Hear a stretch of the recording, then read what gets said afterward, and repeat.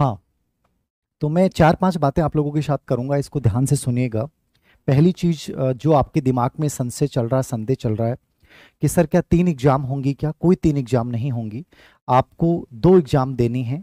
पहला रीट एग्ज़ाम है, जो जनवरी में होगा, हंड्रेड परसेंट हो जाएगा। कई बच्चे कह रहे थे कि सर क्या जनवरी में रीट हो रहा है क्या? तो हंड्रेड परसेंट जनवरी में रीट हो जाएगा। नवंबर सेकेंड वीक में नोटिफिकेशन आने की पूरी संभावनाएँ हैं, लगभग तैयारियाँ हो चुकी हैं माध्यम शिक्षा बोर्ड में। तो जनवरी में एग्ज़ाम करवा देंगे। थोड़ा बहुत लेट होगा तो आप ये मान के चलिए कि पूरी भर्ती के लिए आपको एक साल तो देना है।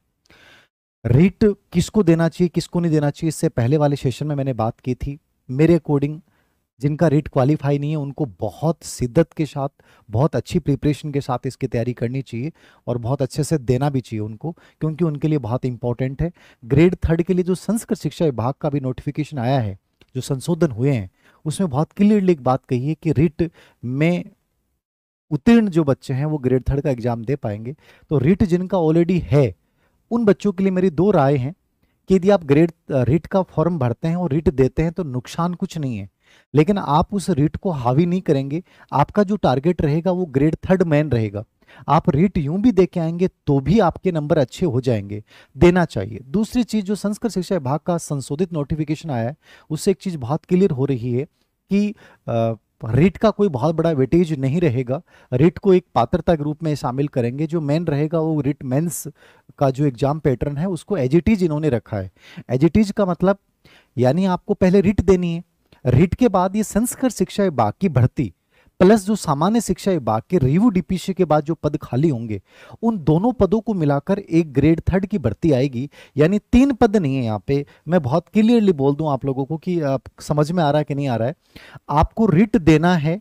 रिट देने के बाद आपके ये नहीं होना चाहिए कि, सर रिट के बाद क्या होगा? तो रिट तो सभी को देना है। जिनका रिट ऑलरेडी है, उनके लिए तो टेंशन है ही नहीं। वो उसके बाद ये संस्कृत शिक्षा विभाग के जो 2800 समथिंग जो पद हैं ठीक है?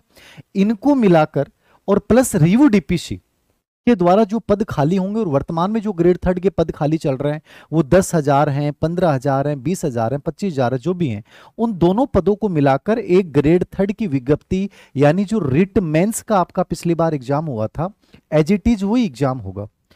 सिलेबस सेम रहेगा, यानी उस सिलेबस में कोई चेंज नहीं होगा। वो परीक्षा कौन करवाएगा? वो अधीनस्थ सेवा चयन बोर्ड करवाएगा जो पिछली बार करवाई है। वही लेवल फ़र्स्ट के 300 पेपर का प्रश्न पत्र होगा, वही लेवल सेकंड का 300 प्रश्नों का 300 मतलब मार्क्स का प्रश्न पत्र होगा। दोनों का जो सेम पैटर्न जो पिछली ग्रेड थर्ड में था एज इट इज़ वही रखा है। वही आपका सब्जेक्ट है वहीं साइकोलॉजी है शैक्षिक परिदृश्य से सूचना तकनीकी आपका टीचिंग मेथड कंप्लीटली वही चीज़ें उन्होंने रखी हैं। तो इसको लेकर कहीं तनाव लेने की आवश्यकता आपको नहीं है कि सर आ, क्या होगा क्या नहीं होगा क्या हम करेंगे क्या नहीं करेंगे? तो इसको लेकर कदापि तनाव नहीं ले ठीक है? सब चीज़ें अच्छे से हो जाएँगी और बाकी कोई चेंज होगा तो मैं इसको लेकर आपके साथ चर्चा कर लूँगा।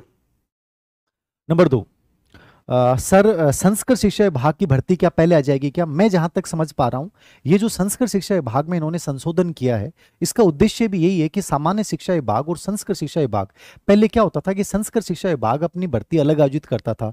जैसे अभी नवंबर में ग्रेड फेस्ट की हो रही है दिसंबर में सेकंड ग्रेड की भर्ती हो रही है। तो इसके अपने रूल्स होते हैं, अपने नियम होते हैं, इनके सिलेबस में थोड़ा फ़र्क होता है। जैसे संस्कृत शिक्षा विभाग में साइकोलॉजी जो आती है ग्रेड फ़र्स्ट में वो साठ नंबर की आती है।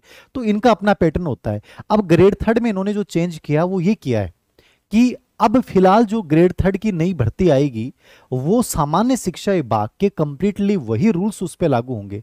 मतलब नया इसमें ऐसा कुछ भी नहीं होगा कि वो एकदम डिफरेंट होगी तो कंप्लीटली वही सेम चीज़ें आपके साथ रहेंगी। तो ये आपको थोड़ा सा याद रखना है।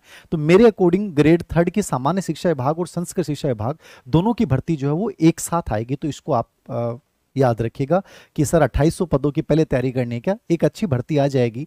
और मैं मानता हूँ कि 2025 एंड तक जैसे मान लीजिए सितंबर से लेकर दिसंबर के बीच में कभी भी रिटमेंस का जो है वो एग्ज़ाम आयोजित कर लिया जाएगा। कितने पदों पे होगी, क्या होगा, वो रिव्यू डीपीसी के बाद पता चलेगा। बाकी ये पद तो 2800 संस्कृत शिक्षा विभाग वाले तो हैं।